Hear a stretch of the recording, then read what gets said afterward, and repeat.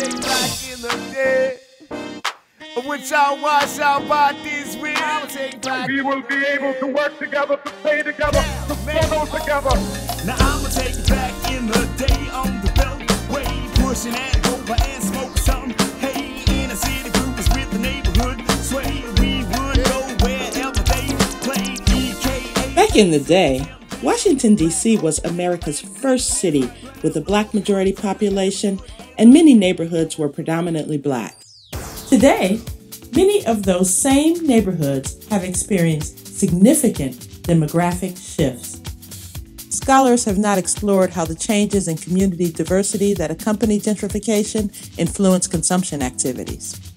you displace all of the original long established residents, and then you don't have that cultural diversity. as far as diversity of its actual residents is actually pretty limited, I would say, to um, middle class white folks. When I first moved here, it it was solidly African American.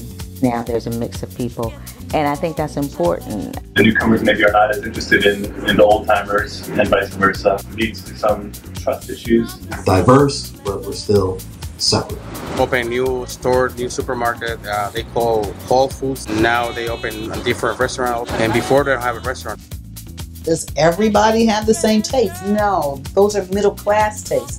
These differences in consumption norms and preferences are clearly a source of tension. Dog parks and coffee houses. Dog parks being created.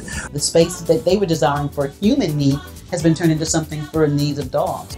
But if you only follow the money, you are only going to you're ultimately only going to cater to a culture that has money. So you say is revitalization good for cities?